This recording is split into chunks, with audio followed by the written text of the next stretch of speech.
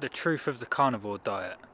So I thought now would be a good time to make this video because it's World Carnivore Month and this might help anybody that's new to the diet and who's sort of just getting started. So just a disclaimer, this is the truth as I see it from my personal experience. This is not um, diet advice. I'm not a nutritionist.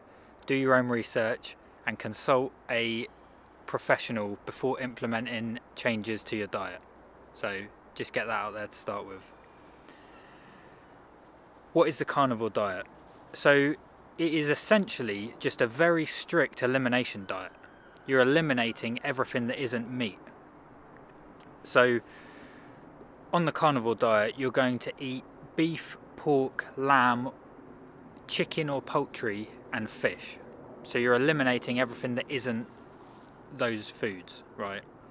So in the process of doing that, you're eliminating plant foods and I mean you could do the carnivore diet with processed foods, but in my experience you're eliminating processed foods as well.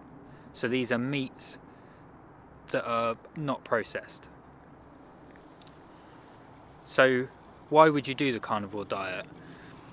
I first got introduced to the carnivore diet by Jordan and Mikhaila Peterson, and they introdu- they adopted the diet for a number of reasons. So the reasons you might be interested are mental health and mental clarity. So it can be implemented as a way of treating depression. So if you've got depression, it might help your mental health. You've got autoimmune diseases like arthritis and digestive issues like irritable bowel syndrome, food intolerances, and metabolic dysfunction, so diabetes and insulin resistance. So that's a wide range of reasons why you might be getting into the carnivore diet. And then another side kind of benefit that might be your main reason for adopting it is just more energy and weight loss, so burning fat. That's usually the reason people get into diets, to be fair. You might not be interested in the other health benefits, but losing weight is your main motivation. And in my personal experience, it does address all of those issues. So I first adopted it for mental health. I had depression and I thought that that would be of benefit, and it did address that. And in the process of doing the carnivore diet, I've realised that the foods we eat massively influence our mental health and just even just clarity. So if you've got brain fog, this is going to help. Now, I can't. I read a book on the gut microbiome, so your digestive system, and I can't remember what the number was, but you've got about I think it's either more or the same amount of neurons in your digestive system as in your brain and they communicate with each other through the gut brain axis. It's your vagal nerve that takes signals. So, thoughts, that's where the, the term gut instincts come from. Or I've got a, you know, like you, you just get a gut instinct. So, that's a real thing. There's literally neurons that are communicating. And it's the bacteria that live in your gut that are going to communicate certain messages. And now that might be a cause of depression because if you've got gut dysbiosis, which is when the gut microbiome, the uh, bacteria that are living there, are sending off weird signals. So anyway, so carnivore diet. In my experience, I found when I first introduced it, so there's kind of varying degrees you can do. Jordan, Jordan and Mikhaila Peterson are at the extreme far end of how to implement the carnivore diet. So they eat literally just beef and salt and drink water. So that's as extreme as you can get. And then on the other end, it would be eating a variety of different meats. So lamb, beef, fish, poultry. So that's your two, that's on a strict carnivore diet. Now we'll talk about like the next uh, the next step up on the spectrum. But so that's strict carnivore. When I first adopted the diet, I did three weeks of just beef and salt, like the Petersons do. and I found it very it was a very good experience, but I don't think it's necessary unless you've got serious autoimmune diseases and serious health issues. I don't think you need to adopt it that strict to get the benefits. So in my experience, I adopted carnivore diet, just beef, and the mental clarity was the most striking thing that I found. But also, I had digestive issues, kind of like irritable bowel syndrome symptoms. And the more foods I eliminated from my diet, the the better those symptoms got. And I've managed to treat and manage it through diet. And I'll introduce things back into the diet, but I find beef is always the thing I can come back to. Because an elimination diet works by eliminating everything except for one food. So if you so for me, if I just eat beef and I know on beef I have mental clarity and I don't have the irritable bowel syndromes, like irritable bowel syndrome symptoms, that's beef. That gives me a baseline to work from.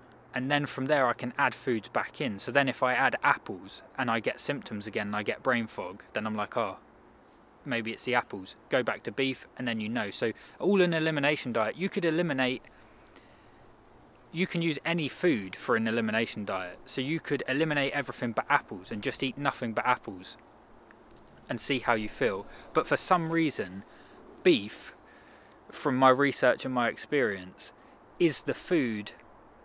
It's it's anti-inflammatory, and I don't think anybody is going to be allergic to beef or have food intolerances to beef. I don't know why that's the case, and I'm not attached to the carnivore diet. So if it was kale or broccoli, you eliminate everything and just eat broccoli. I would do like I literally I'm not bothered which way it is. It just happens to be beef from what I've seen online and my own experience and my research. So you eliminate everything. And the reason I would use beef, in my opinion, I use grass-fed beef and I use the cheapest option because you're eating quite a lot of it is to get ground beef, so beef mince. It's the cheapest way. And the reason you do that is there's downsides and drawbacks to other meats. So take fish for example. Larger fish like salmon or tuna accumulate mercury because they're higher up on the food chain. So they eat other foods that have mercury in them and then you're you can potentially give yourself mercury poisoning sardines are going to be your best option if you do want to implement fish because they're small fish, they accumulate less mercury. As far as I know, all sam all sardines are wild caught.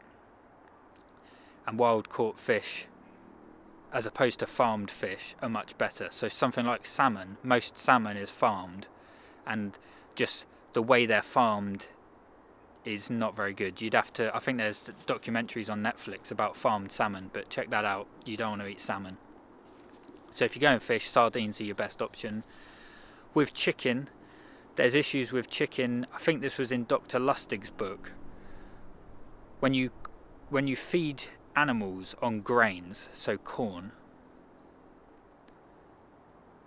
I, I can't remember what it said. I think it said essentially you are what you you are what you eat and you are what you're eating ate so they can with non-grass fed animals they can feed them a certain percentage of plastic they're literally allowed to and plastic is toxic so it gets stored as fat so I've heard of them using cement dust and brick dust as well they'll feed their animals a certain percentage of plastic or um, industrial dust that causes them to store fat and it helps them put on weight. So it helps their animals gain weight, which is obviously beneficial for the farmers. So, or for the industry, the people selling the meat, their animals gain weight quicker and they have to feed them less real food. So that's cheaper. Chickens that are grass, that are grain fed, often result.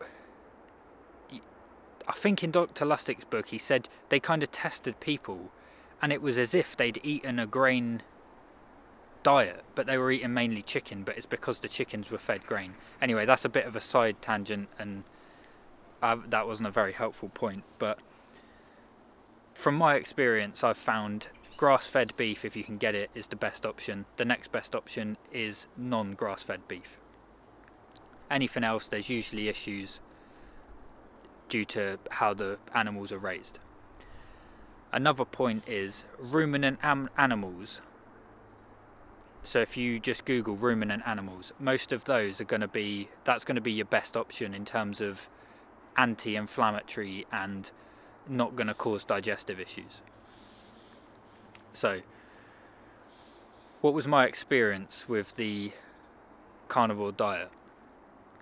Obviously, mental clarity, the weight loss is inevitable. If you eat a carnivore diet, you are going to lose body fat. It's just, it's kind of like, there's no question, and it works very effective. And you can eat, you're not in a calorie deficit. You're eating what your body requires in meat, and that looks like a lot of meat. So, when you work out your daily caloric need, you can eat that much meat, and it's it's fine and it's sustainable. Jordan and Mikhaila Peterson have proved that you can do that for a long period of time.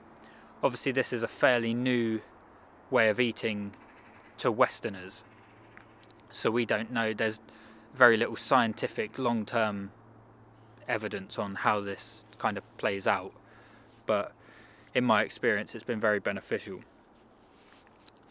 The bad sides, which I don't hear very often, if at all, that I've experienced and friends that have done the carnivore diet have also experienced is it affects your sleep. So I was sleeping less.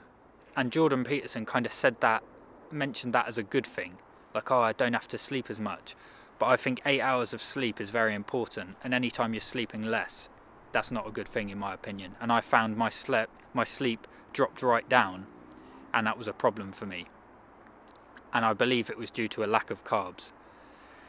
And the other side of that was my libido and sex drive went down to basically nothing. And I think that is again due to carbs because it I think it negatively affected the hormones and testosterone the testosterone estrogen balance. I I haven't done much research on this, but as far as I can tell, it's due to carbs. So you do need carbs, eliminating all of them. Maybe when your body adapts to running off ketones instead of glycogen or glucose. Maybe there's a switch that happens, but because I didn't leave it long enough, I didn't adapt. So maybe that would come back and that wouldn't be a problem. But in my experience, I've done three weeks of carnivore and I stopped doing it because of the libido issues. So, what's my conclusion from adopting? I've done this multiple times. I've done three weeks at a time. I've done smaller stints as well, week here and there. And my conclusion was just use it as an eliminate uh, use it as an elimination diet if you do have digestive issues but you want to try and add in as many foods as you can so having a variety a, a wide variety of foods you eat I think is good but some foods for me, I was trying to identify food intolerances. And if that's the case for you, go to just beef, do that for a week and see how you feel, and add in foods that you want to start with low inflammatory foods and then work your way up and just keep adding foods. And the more foods you can add back in to a balanced diet, the better. But to some people, that might be nothing. So for Jordan Peterson, it's he tries to add in anything and it has negative effects. So he's left just with beef, and you can survive on beef. So that's your baseline. Anything extra is going to be beneficial. And what I've found to be the things that I can add back in are some fruits, and these are low glycemic fruits, so berries. When I start adding mango, I do eat mango, but I notice there's brain fog associated with it. So low glycemic fruits, raw dairy. I did have issues with dairy before, and this might be another reason why you're doing it. Conventional dairy from supermarkets is pasteurized and homogenized, and the animals are often, um, you know, heavily drugged with antibiotics and things to keep them because a lot of commercial farms they're not the healthiest animals so they use um, drugs to keep them alive essentially and you are consuming that. So you want raw dairy. So when you pasteurize and homogenize dairy, you're boiling it, which kills all the enzymes, and filtering it through a high pressure filter which denatures it again. So, and this is why you can have milk sitting on a shelf for three weeks. Some brands of milk can sit on a shelf for that long because it's essentially just white water, whereas raw dairy isn't. That's that's natural as it occurs in nature, and it's very healthy. So, raw dairy is hard to get a hold of in the UK. I found I can get raw cheese in my local supermarket and I can get raw dairy from farms but in the winter it they produce less milk and it's yeah it's just difficult to get hold of. But if you're looking for a raw dairy to add um, I would recommend Parmesan Reggiano I'm not Italian so I probably didn't pronounce that very good but that is raw cheese and it says unpasteurized on the label so that's one you can add. Eggs I add back in and that's fine. Honey, and then I've put in brackets low lectin or low defense chemical vegetables. So I'm not against veg. I'm not against any diet or vegan or anything like that. But I can't personally tolerate veg and I would add in low lectin, low defense chemical vegetables, but I just haven't found any. I've tried reintroducing them and I haven't found any that I can actually eat without seeing negative side effects. I would eat all veg, if I could, but that hasn't been my experience. So, my conclusion from I've spent it's over a year moderating my diet and testing things and just experimenting what effect different foods have. And it's been a lot of trial and error, and a lot of things haven't worked. So, in the beginning, I started off as a vegetarian. I was using fully organic plant-based supplements essentially living fuel was the one I used and I think it's probably a great product but I almost poisoned myself with it because I I can't tolerate vegetables and plant food as far as I can tell. And I think it's just because I'd wrecked my digestive system with ultra processed foods from a young age for a long time. So for you that might not be the case. You might be a lot healthier than me and you can tolerate and thrive on plant foods but my conclusion is when you eliminate everything, you're essentially eliminating processed foods, which is beneficial anyway. So this doesn't have to be carnivore to do that. You could eliminate all processed foods and just go on a plant-based diet, and that benefit is going to still be the same. And you end up, what I've ended up with, with the carnivore plus foods I've reintroduced, is what I now deem to be the best diet, which is single ingredient foods, as found in nature, minimally processed, if at all processed. I think cooking is a process as well, so you have to process them to some degree, but and that doesn't have to be carnivore. You could do that fully plant based, but in my experience, the defense chemicals disrupt the gut, and I can't do that. So for you, yours may include veg or maybe predominantly veg, and I believe people's genetic makeup and metabolism is catered towards different types of foods anyway, de- determined by your ancestry. So I've spoke about this before, but where your ancestors lived and what they what they ate most, you're going to be predetermined by that. So, for example, my friend has Italian heritage, and he can eat pasta all day long. I eat pasta and get brain fog. He can deal with the heat like we, we climbed up Mount Snowdon and it was really cold and the conditions were really bad. I can deal with the cold fine because my heritage is more European, colder climate, and his is more Italian. So he can sit in the sauna for hours and I'm flaking out. We go up Snowdon and it's cold. I'm fine with like just a t-shirt on. I'm like just walking through like a Viking and he's flaking out. So, and that's the same with diet he can tolerate more foods that I can't, and that's going to determine what you choose to eat. So, the main conclusion is eat real foods, single ingredient foods, minimally processed, and you're basically that that's the optimal diet as far as I can tell. And I'm getting more and more comments of people saying, "Oh, I've adopted this real food diet 10 months ago." And they list all the positive benefits and I told my friend about it and he's you know, he was overweight and he's gone back to his 20 year old weight. So it just gives me more and more conviction. And it's just obvious, it just makes sense. Um, Weston A. Price made the conclusion that anytime he went to Weston A. Price, I've spoke about him before as well, but he travelled round to different tribes and he found anywhere the tribe adopted a Western diet, which is highly processed foods of grains, sugar, things like that,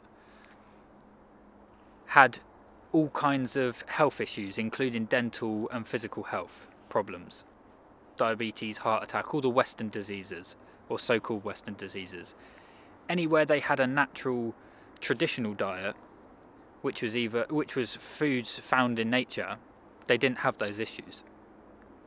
And that's just obvious. You know, you eat food provided by nature. We've just been brainwashed to think that cereal, toast, um, just all the Western foods we eat, they're not even real foods, but we think to eat any other way is strange. So that's my experience. Eat real food, single ingredient. The other thing is, I saw a meme the other day, a little picture. Uh, might have been Shawn Baker put this on his Instagram. It was like the first picture is a picture of donuts and pizza, and the caption is when I ate like this, nobody was worried about my uh, like when I when I ate like this, nobody questioned it. And then the picture below is meat, like red meat, chicken, eggs, cheese, and milk. Now I eat like this, everyone's concerned about my health. Like people think it's weird to eat real foods. So yeah, that's my experience with carnivore.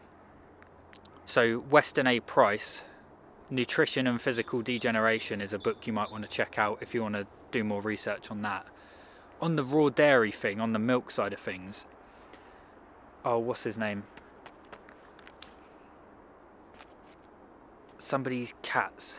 A guy uh, did experiment on cats with raw dairy and pasteurized dairy. So he gave them gave some cats raw milk and others pasteurized milk. Bearing in mind, most of the milk we all have access to is pasteurized and he found within four generations of cats, the cats couldn't reproduce. Pottinger's cats. Yeah, within four generations, the cats couldn't reproduce. Now, we're probably four generations into drinking pasteurized milk. And fertility is becoming an issue. You've got people like Elon Musk saying we're not having enough kids. So, that again, I'm not a conspiracy theorist, I just deal with things that I see. But I know some people might question that, so we won't go into that. But this was about carnivore. So yeah. Like I say, I'm not attached to any single diet. I just do what works for me. So, and if there's something I'm missing, like I'm always open to uh, new ideas and new ways of thinking. I just think I've found what works for me. If there's something else, then I'm I'm open to suggestions. I'm always willing to try new things. But yeah, be interesting to see how you guys get on, what your experience has been, and any.